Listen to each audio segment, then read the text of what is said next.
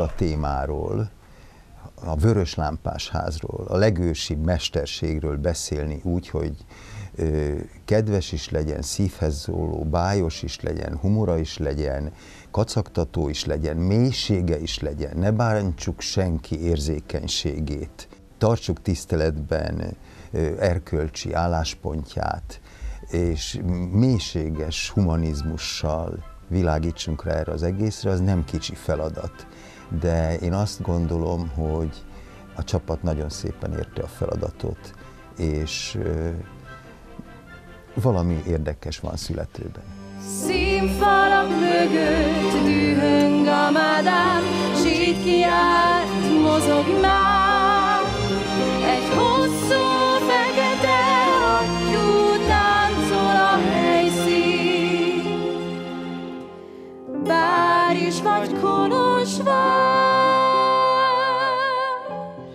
Vörös Lámpás Ház című darabban a Madámot alakítom, és azt hiszem, hogy nagyon sok mindent elárul a szövegkönyv első oldala, amivel ugye az olvasópróbán találkoztam először, és minden szereplő mellé oda van írva egy jelző.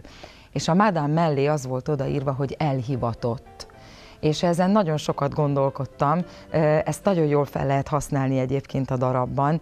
Elhivatott sok szempontból, hiszen nagyon fegyelmezetten tartja a rendet a saját házában, ugyanakkor persze, hogy kiderül a darab alatt, hogy csupa szív, és szereti a lányokat, akik nála dolgoznak, folyamatosan felhívja a figyelmet arra, hogy ő még tartja a rangját ennek a szakmának, akkor ennek ugye nagy rangja volt, és azt kell mondjam, hogy nagyon furcsa a gondolat, de mégis, hiszen a feleségek is tudták, jól tudták, hogy néha az urak törvényes keretek között ellátogatnak ilyen házakban. Ennek volt egy bája, egy megbecsültsége akkor. Jó reggelt!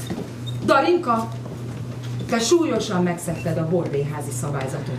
Nagyon jól tudod, hogy hajnali négy és este kilenc között nem tartózkodhat a házban hímnemű egyed. Hát miért nem óvintézkedtél, ha már ilyen a fajtád? Óvintézkedtem én! Be is dobtam Szent Antal persébe egy korona 20 fillért, hogy sok többet ne legyek szerelmes. Egy korona 20 fillér, de hisz ez egy kiló marha ára. Azt hiszem, hogy, hogy egy nagyon kis békés életet élnek ebben a vörös lámpás házban. Természetesen nem lenne darab, hogyha ez végig így maradna. Kezdődnek a bonyodalmak, és folyamatosan megoldandó feladatokat gördít eléjük az élet. Egyik helyzet komikum követi a másik helyzet komikumot. Nekem na- azt tetszik nagyon a saját karakteremben, hogy rengeteg szint meg tud mutatni. Bevallom, hogy igazából ez csak átmeneti állapot. Igen? Nem baj, nem baj, nem baj. Ö, ö, addig kell csinálni, amíg jól esik. Addig. Hát őszintén szólva csak a pénz miatt veszem fel. Az nem jó, az nem jó. Tessék megkeresni benne az örömöt. Hát ők is örömből csinálják. Megtalálták a lélek és a test egység. Hát ezt is tudod? Hát persze, mindent tudok. Akkor azt is tudod, hogy ez a...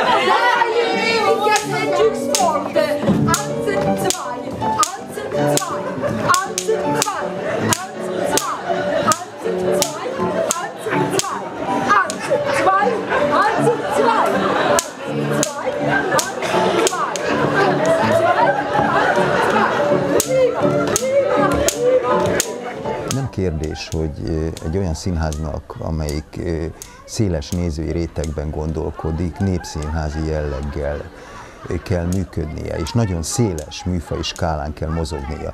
A nézők igénye is borzasztóan széles mesdjén mozog, és ezt a színháznak, ha azt akarja, hogy szeressék, akkor figyelembe kell venni. Az, hogy vannak szórakoztató műfajok, az nagyon fontos. Már a görögöknél úgy kezdődtek Epidaurusban az ünnepi játékok, hogy délután megnézték a, a kü- különböző végjátékokat, és, és bakhanálián vettek részt, és mulatozáson, és a örömködésen, az ugyanúgy az élet része, mint aztán este meglátták azokat a nagy-nagy sors tragédiákat, amit lefordítottak a saját életükre, a közösségük létezésére. Tehát magyarán nagyon széles műfaj skálán kell mozogni, nagyon végletesen be lehet járni ezt az egész utat, ezt az ösvényt. Ez, ez, ez, ez egy széles nyomtávú vasút, a színház.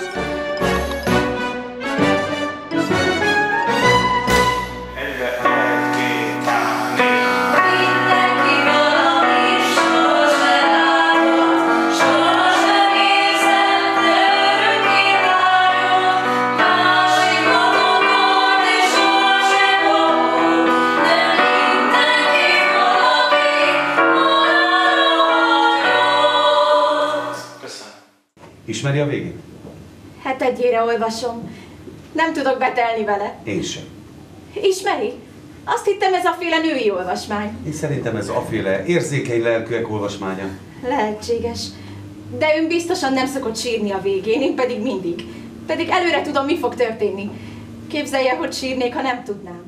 Én a Vörös Lámpás házban, a Turaida Színházban a Csonteleki Zigfriedet formálom meg, aki hát elviekben a magyar kaszanova. Én 40 éves leszek, ez egy 35 éves figurának van megírva, aki már világot látott egyáltalán, és ő már el is mondja a monológiába, hogy az elején minden, a mezőnek összes virága, aztán válogatunk, aztán már csak egyetlen egy kell nekünk. De az viszont az legyen, tehát a nagy ő. Nos, hát a lányok ugye általában fiatalkorukban képzelik a fehér lovona herceget. A férfiak talán idősödve azt mondják, hogy lehet, hogy most már ideje valami szépséggel is foglalkozni, azzal az egyel. Én nem így képzelem el a Csonteleki Szigfriedet, hogy a legizmosabb, a legsármosabb, a legleg-leg, és akkor mindenki tud. Nyilván ő tudja, de ahhoz, hogy hiteles legyen, és nem is ebbe az irányba rendező rendező, hogy akkor a végén nagy összeborulás egyáltalán, meg csók, meg ugye a, a klasszikus romantikus színpad, hanem, hanem konkrétan szülesse meg az érzelem. Az ember először az egész mezőt akarja összes vadvirágával, illatossal, szaktalannal. Aztán válogat, olykor-olykor leszakít egy pompásabbat, és a végén már nem kell neki más, csak az az egyetlen egy. De az legyen harmatos, mint a reggeli tulipán. Hogyha a színész kap egy ajándékot, és ezt a rendezővel is megbeszéltük, ajándékot föntről, miközben csinálod a szerepet, ami azt jelenti, hogy egy olyan érzelem ér utól, az teljesen mindegy, hogy életed melyik szakaszából meríted, vagy jön, vagy azt használni kell, azt, azt engedni kell, azt ki kell, azt meg kell engedni. Tehát van olyan ember, aki egy vígjátéknál sír, szokogva sír, és, és drámaian sír, mert neki az életében, tehát ő ezt így kanalizálja. Van, aki egy drámai helyzetnél ö, egyszerűen nyerít, mert ő meg így kanalizálja dolgokat. Ezért izgalmas visszatérve az Zigfriedre, mert a kavalkát körülöttem az nagyon vicces, nagyon humoros, de nekem például azért fér bele, hogy amikor elmondom azt, hogy mire vágy, hogy konkrétan könnyekkel, ha jön maga az érzés, elsírjam magam, mert akkor pont ezt a kettősséget tudjuk megmutatni. És ettől válik, azt gondolom, tragédia esetében tragédia, komédia esetében komédia, életszagúvá, hogy közel hozzuk a hétköznapokat. és feljő a ki látja sírni a madám otthon, ki kérdi tőle, hányszor tévedett, ki számol velem, pénzt és életet. A zenés műfaj ugye az, az gyerekkorom óta foglalkoztatott, és az elmúlt 26 évben nagyon-nagyon sok musicalben játszhattam, hála Istennek, mert ez volt a vágyam mindig is. Rengeteg mindent kipróbálhattam, és itt jön a lényeg, és ezért én nagyon hálás vagyok Ilonának is, hogy engem meghívott erre a szerepre, mert igazából a szakmát megtanulni, azt ilyen darabokkal lehet. Egyre több próza után vágytam, és azt itt van egy-két dalom, rendben van, és nyilván Ilona is tudta rólam, hogy én énekelek, de itt azért egy nagyon komoly színészi feladat van. És ennek a színháznak szerintem, a Turai Ida színháznak nagyon nagy erőssége, hogy mindenben jónak kell lenni nagyon-nagyon széles és színes a, a, a paletta. És Ebben a darabban is nagyon érdekes, hogy úgy nevettetünk, hogy közben a saját sorsunkat nagyon komolyan vesszük. És ennek a balanszát megérezni, az egy nagyon komoly színészi kihívás. De itt olyanok vannak körülöttem a színpadon, akiknek ez a kis ujjában van. Ha most csak a Cserelacira gondolok, vagy a, a Bódi Barbikára gondolok, vagy a Hűvös Völgyi Ildikóra gondolok, hát remek, egyszerűen, egyszerűen minden csinyát, binyát tudják ennek a műfajnak. A tempót nagyon jól meg lehet érezni, hogy esetleg egy jelenetnek oda kell kifutni a legvégére, hogy nem jön egy nagyon nagy dal, ami majd megoldja és elmondja, hanem saját magadnak kell odáig eljutni, hogy, hogy színekben, erőben, gondolatban, ízlésben eljuss odáig, hogy a néző veled tudjon menni. Kesztyűje csipke, nyakában medál, léptei puhák, elindul megáll, szájában gondtalan, füstöl a szipka, azt hinnéd nem volt, és nem is lesz titka. Nagyon nagy segítségemre volt természetesen Tasnádi Csaba rendező, aki, aki nagyon jó instrukciókkal látott el, és nagyon szépen vezetgetett, és még itt az utolsó pillanatban is voltak olyan észrevételei, amit én már nyilván belülről nem érzékelek, de ő jó szemmel kívülről tud koordinálni és segíteni, hogy hogyan tudok még több szint ezen a palettán megmutatni. Tasnádi Csabával én még sosem találkoztam, mindig hallottam róla. Én úgy érzem, hogy kivétel nélkül mindannyian szeretünk vele dolgozni. Nagyon élővé akarja tenni a játékunkat. Szeretem azt, hogy Csaba igenis azt mondja, hogy álljatok meg gyerekek, ezen nem szabad átfutni, mert ez, ez is ezt jelenti. Minden színésznek van egy saját eszköztára. Az eszköztár, hogyha egy idő után nem újul, nem újul meg, akkor rutinosakká válunk. Ez most nem feltétlenül csak a nézőt vagy a nézőt zavarja, ez egy idő után elkezdi zavarni a színészt magát. Viszont az eszköztáradat bővíteni csak úgy lehet, és ugye jó papoltig tanul, mint a jó színész is, vagy a színész is, és az már biztos. Ehhez kell valóban egy olyan pedagógiai érzékkel és vezetői érzékkel, de közben meg kollégája, színész kollégája iránt megáldott alázattal rendelkező vezető rendező, aki meglátja pontosan, hogy mi a te erősséged és mi a te gyengéd. És miből mit, hogyan tud a helyzet, darab, előadás és a, a, az előadás közlése szempontjából belőled kihozni. Mert a bordi sohasem a bordi csak átalakul.